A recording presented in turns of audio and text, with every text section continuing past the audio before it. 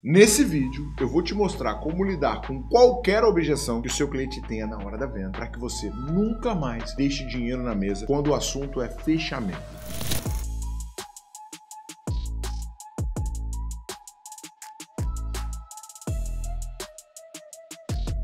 Não saber lidar com a objeção do jeito certo é a pior coisa que você pode fazer pelo seu negócio ou como vendedor. Por quê? Aquele cliente que chegou para você e falou: "Tá caro, eu não tenho tempo, eu preciso pensar, mais para frente eu compro". Você não acha que ele não vai ficar sem comprar? Ele vai comprar, sim, só que de um vendedor que sabe tirar essa objeção. Na real, sabe qual que é o pior disso tudo? É que uma outra empresa vai tirar essa objeção do cliente e vai vender um produto pior, cobrando menos e entregando algo de uma qualidade baixa. Então, eu preciso que você preste muita atenção nesse vídeo, que você fique até o final, que eu vou resolver definitivamente qualquer desafio, qualquer obstáculo que você tenha com retirada de objeção. Mas, antes de eu te revelar exatamente como é que você tira qualquer objeção, deixa eu me apresentar. Meu nome é Thiago Reis e aqui no YouTube eu te dou dicas práticas, direto das trincheiras, de como você aplica em vendas para poder ter mais resultado, mais receita e mais lucro. Se você está buscando aprender mais sobre vendas, ter mais resultados, chegar na alta performance, tanto como empreendedor quanto como vendedor, te aconselho a se inscrever no canal, marca no sininho para ser notificado assim que eu lançar um vídeo novo,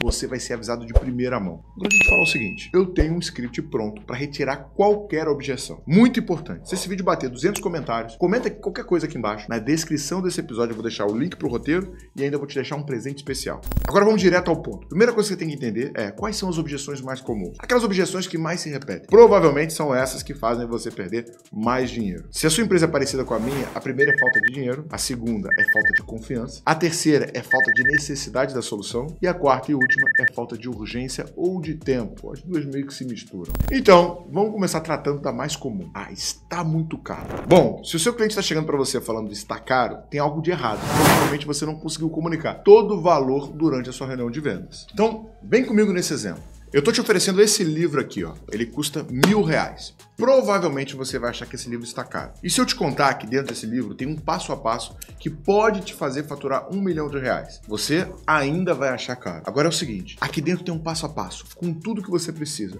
para chegar a um milhão de reais de faturamento mensal. Inclusive, se você comprar esse livro, eu vou passar alguns dias dentro da tua empresa montando uma máquina de vendas e garantindo que você segue. Não importa quanto você fatura agora, em um milhão de reais, por apenas mil reais. E aí, me fala ainda continua caro? Bom, o exemplo do livro começou te dando pouco valor, apenas um livro, mil reais, e de cara pareceu caro, mas depois eu te dei uma garantia de que o método ia ser aplicado na tua empresa, gerando muito retorno, ainda com contemplando a minha ida até a sua empresa. Nesse caso, fica muito diferente as duas ofertas, do livro até a garantia absoluta de que você vai faturar um milhão de reais. O que acontece em vendas quando alguém acha caro é exatamente a mesma coisa. É um forte indício de que provavelmente você não trouxe a percepção de valor para o teu cliente. O teu cliente está achando caro simplesmente porque ele está pensando no quanto vai custar, mas não no retorno que ele pode vir a ter com o teu produto, com o teu serviço ou com a aplicação prática daquilo que você oferece. Na maioria esmagadora dos casos, quando alguém fala que está caro, é apenas uma desculpa. É porque a pessoa ou não entendeu de fato para que serve, ou porque ela não se viu transformada pela solução que você está oferecendo. A percepção de valor, se está caro ou está barato, ela sempre precisa ser por duas perspectivas. Primeiro, quanto está custando para o cliente o problema atual, e segundo, qual é a expectativa de investimento do teu cliente. Imagina o seguinte, eu chego para você agora e falo, eu quero uma casa. Só que eu não falo detalhes detalhes do tamanho da casa, das características, que tipo de material ou região. E aí você chega para mim com uma proposta de uma casa de mil reais. Por mais esdrúxulo que possa ser o exemplo, eu tinha uma expectativa de investir 5 milhões de reais numa casa. Só que como esse alinhamento não foi feito da maneira correta, ou você vai apresentar algo que não atende a minha expectativa, ou vai apresentar algo fora da minha capacidade de investir. Durante a etapa de diagnóstico, é quando você faz muitas perguntas, investiga o cenário do cliente, entende exatamente quanto está custando o problema atual, você tem que ser capaz de levantar a expectativa de investimento dele. Qual é o orçamento que o cliente tem para resolver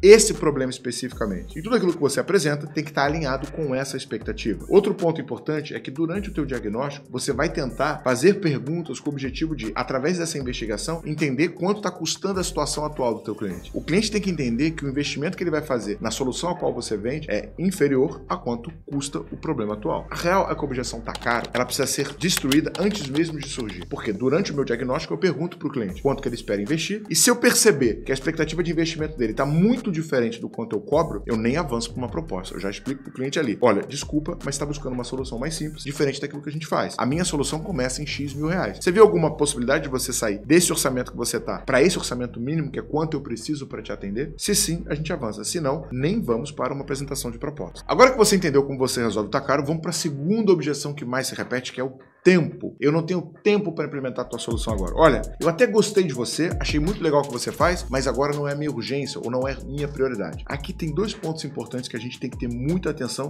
quando a gente fala sobre prioridade. Na maioria das vezes, tá, o teu cliente, ele tem lá uma série de problemas que ele precisa resolver. Na cabeça dele, ele está priorizando qual que é mais importante do que o outro, mas na maior parte das vezes, as pessoas não sabem exatamente quanto está custando ou as consequências geradas pelo problema atual. Por isso, a gente cria uma perspectiva ou uma ilusão de que eu posso posso deixar para mais para frente para resolver esse problema? Qual é o teu grande desafio para superar a objeção tempo? Durante o teu diagnóstico, você tem que ser capaz de fazer perguntas de forma a investigar o quanto está custando a situação atual. Você tem que aumentar o nível de consciência do teu cliente em relação ao problema a qual ele está passando, para que você consiga fazer o cliente chegar na conclusão de que se ele não mudar, o negócio vai passar por um grande problema. Um exemplo que eu gosto muito de dar é o fumar cigarro. Você concorda que a maioria esmagadora das pessoas que fumam sabem que o cigarro faz mal à saúde? Não tem ninguém que fuma achando que o cigarro pode fazer bem todo mundo sabe que faz mal. E por que que mesmo assim as pessoas continuam fumando? Porque elas têm uma ilusão de que o problema do cigarro só vai acontecer lá na frente. O que, que eu preciso fazer? Eu preciso trazer a consciência desse futuro para o momento atual. Como é que eu faço para qualquer pessoa parar de fumar? Leve essa pessoa num lugar onde tem pessoas que são terminais ou de enfisema pulmonar ou de câncer pulmonar. Porque quando ela vê aquele cenário, aquelas pessoas tentando respirar e não conseguindo, ele entende que o futuro dele vai ser estar naquela sala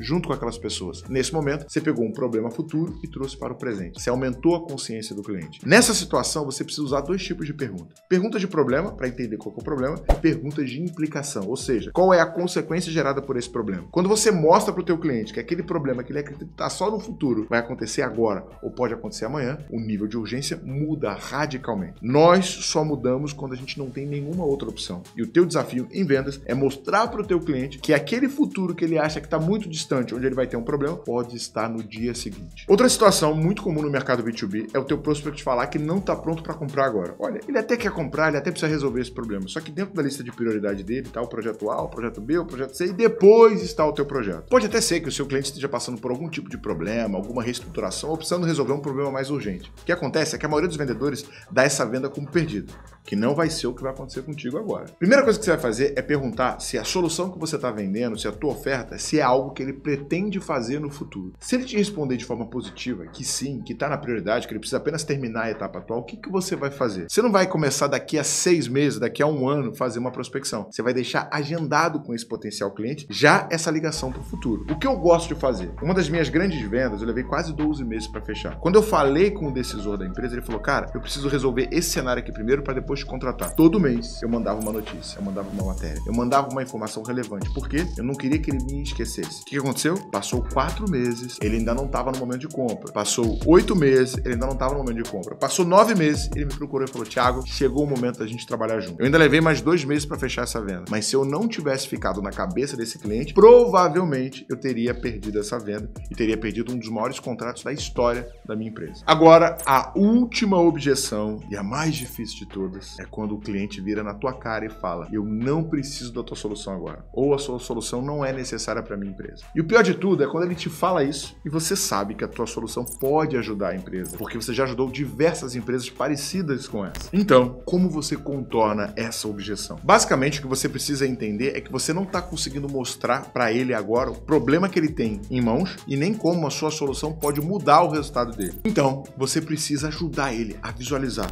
tudo que você consegue entregar. Ele não está reduzindo o custo de aquisição por cliente, ele não está tendo uma estratégia onde ele encaixa os anúncios com o CRM, garantindo com que a abordagem seja o mais efetiva possível. Você precisa também criar urgência, mostrando que ele precisa dessa solução agora, não daqui a três meses ou daqui a seis meses. Mas e se não for nenhuma dessas objeções que a gente falou até agora? E agora? Como não ser pego de surpresa. Nesse caso, você pode utilizar o modelo americano chamado LAER, que funciona assim. Listen, ouvir. Você tem que estar a todo momento ouvindo o teu prospect com muita atenção. A de acknowledge. Você precisa reconhecer. Falar para o seu cliente, sim, eu entendo o que você está passando. Eu consigo entender como eu me sentiria no teu cenário. Explore ou explorar. Você precisa fazer perguntas para entender o que está por trás, qual é a raiz dele ter te falado que está caro. Por fim, respond, ou seja, responder. Você entendeu a objeção, você entendeu o que está por trás e agora você vai usar tudo que ele te contou para contornar essa objeção. Agora, com esse modelo, com tudo que eu te falei nesse vídeo, você está preparado para superar qualquer objeção. Agora, se você quer saber como fazer uma oferta irresistível, na real eu acredito que quando você usa a estratégia de oferta irresistível, você mata